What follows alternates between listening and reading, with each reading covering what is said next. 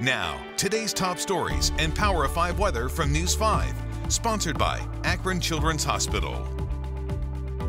Hello, I'm Danita Harris, and here's a look at today's top stories. There's a renewed push for a law in Ohio that our News 5 investigators have been following for years. Aisha's Law is named after Aisha Fraser, the Shaker Heights teacher who was killed by her ex-husband in 2018. The law would make strangulation a felony in Ohio. A state representative from Cleveland Heights hopes the law will get a new hearing this week.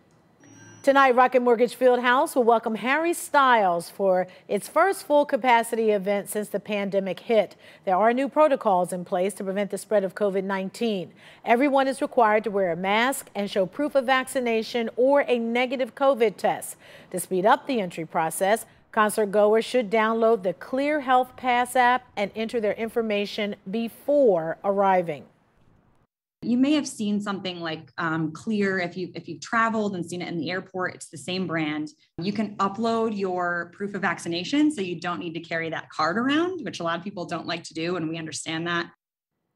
Each event at rocket mortgage fieldhouse will have specific safety precautions right now the Cavs and monsters are not requiring masks or proof of covid-19 vaccination the Cleveland Browns are now 3 and 3 this season. Oh, it was a tough loss to the Arizona Cardinals Sunday.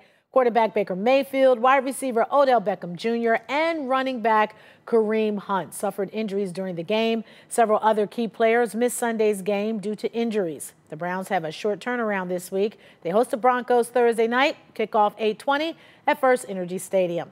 Now for look at your weather, here's meteorologist from Misha Shade. It's not over. The Browns can bounce back, and I think they will bounce back, just like our temperatures will bounce back over the next few days. But for today, feeling a lot more like fall. Those temperatures started off chilly in the 40s and we're going to warm up to the low 60s this afternoon. We'll call that seasonable since that's right around our normal high for this time of the year. Lots of bright sunshine for your outdoor workout plans, maybe your patio plans. It's going to be nice for all of it. In fact, we keep things dry all the way through Wednesday. But you know, when we have a few dry days, usually something's coming. We've got a cold front that will roll in on Thursday. That will bring some widespread rain. I think most of that rain is out of here just in time for the Browns game, but that cold front ushers in some chilly air just in time for next weekend. Sponsored by Akron Children's Hospital.